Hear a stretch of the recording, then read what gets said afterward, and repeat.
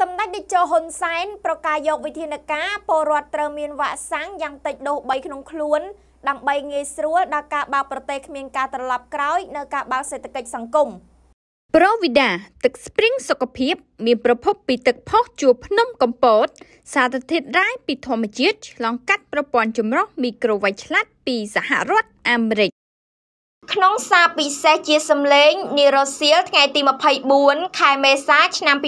2022សម្ដេចតេជោហ៊ុនសែនមានប្រសាសន៍ថាចាប់តាំងពីមុនចូលឆ្នាំខ្មែររហូតដល់ពេលនេះយើងបានពិនិត្យឃើញថាភាពស៊ាំសហគមន៍បាននាំទៅដល់កម្រិតនៃការឆ្លងតិចតួចតាំងពីមុនចូលឆ្នាំរហូតមកដល់ក្រោយចូលឆ្នាំនៅត្រឹមថ្ងៃនេះពុំមានសញ្ញានៃការកើនឡើងនៃការរីករាលដាលនៃការឆ្លងនោះទេ បន្ទាប់ពីមានការប្រកាសឲ្យខេត្តចំនួន4បានសម្រេចចិត្តដោយខ្លួនឯងថាពាក់ម៉ាស់ឬមិនពាក់ម៉ាស់ដើម្បីកាត់បន្ថយការប្រើប្រាស់ម៉ាស់កាត់បន្ថយការចំណាយរបស់ប្រជាពលរដ្ឋរបស់យើងទៅលើការទិញម៉ាស់សម្រាប់ពាក់សម្ដេចតេជោបានគូបញ្ជាក់ថាប៉ុន្តែអ្វីដែលជាតម្រូវការដើម្បីឈានទៅសម្រេចនៃភាពស៊ាំសហគមន៍និងដើម្បីកាត់បន្ថយនៅការបន្ធូរបន្ថយនៅវិធានការសុខាភិបាលដូចជាបញ្ហាការជួបជុំឬបញ្ហាការពាក់ម៉ាស់ជាដើមសំខាន់ស្ថិតនៅលើភាពស៊ាំសហគមន៍ដោយវ៉ាក់សាំងហើយដែលខ្ញុំព្រះករណាខ្ញុំសូមប្រកាសយកវិធានការធ្វើយ៉ាងណា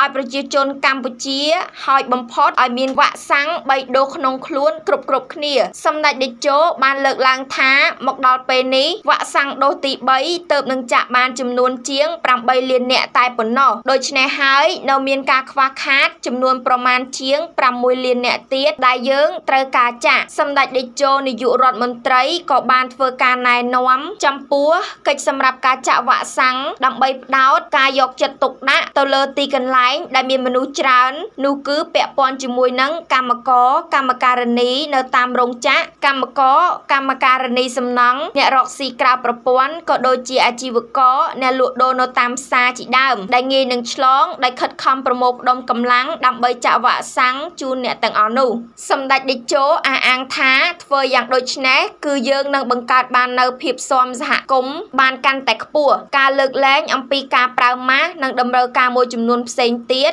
តាក់ទងជាមួយនឹងវិធានការសុខាភិបាលយ៉ាងហោចណាស់ក្នុងវិធានការ3ការពារនិង3កុំជាពិសេស3ការពារយើងអាចដកហូតបាននៅការពាក់ម៉ាស់បញ្ហាគម្លាតវាមានការចាំបាច់ឬមិនមានការចាំបាច់យ៉ាងណានោះវាក៏អាស្រ័យទៅលើបញ្ហាតាក់ទិនជាមួយនឹងភាពសមសហគមន៍សម្ដេចតេជោសង្កត់ធ្ងន់ថាប៉ុន្តែអ្វីដែលខ្ញុំអំពាវនាវចំពោះប្រជាពលរដ្ឋរបស់យើងមិនថាកម្មករកម្មការិនីទេ ប្រជាជនទាំងអស់នៅទូទាំងប្រជាណាចក្រកម្ពុជាត្រូវតែបានចាក់វ៉ាក់សាំងដូសទី3ជាការចាំបាច់នេះជាការតម្រូវដើម្បីឈានឆ្ពោះទៅរកការបន្ធូរបន្ថយទាំងស្រុងឬមួយផ្នែកធំនៃវិធានការសុខាភិបាល សម្រាប់ការពារឆ្លងនៅជំងឺ Covid-19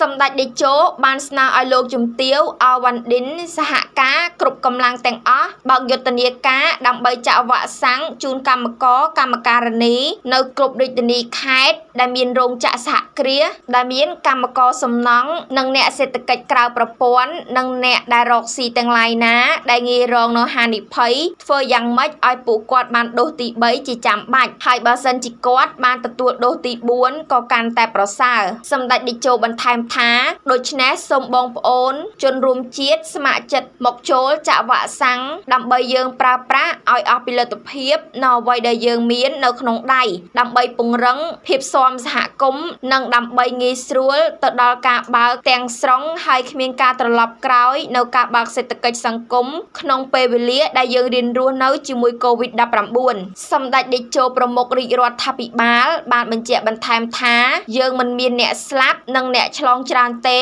ដូច្នេះយើងអាចជំរុញដំណើរការរបស់យើងទៅមុខទៀតបាន សំខាន់គឺការចូលរួមពីសំណាក់ប្រជាពលរដ្ឋរបស់យើងទទួលយកវ៉ាក់សាំងបន្ថែមជាមួយគ្នានេះគឺការចាត់ចែងពីគណៈកម្មការចំពោះកិច្ចសម្រាប់ការចាក់វ៉ាក់សាំងទូទាំងប្រទេសគឺប្រើប្រាស់កម្លាំងឲ្យត្រូវដើម្បីយុទ្ធនាការចាក់វ៉ាក់សាំងដូសទី3នេះទទួលបានជោគជ័យដោយយកចិត្តទុកដាក់សម្រាប់និស្សិតយុវវ័យសិស្សានុសិស្សនិងកុមារដូច្នេះបងប្អូនប្រជាពលរដ្ឋត្រូវមានវ៉ាក់សាំងយ៉ាងតិច3ដូសក្នុងខ្លួនដើម្បីការពារជំងឺដ៏កាចសាហាវនេះ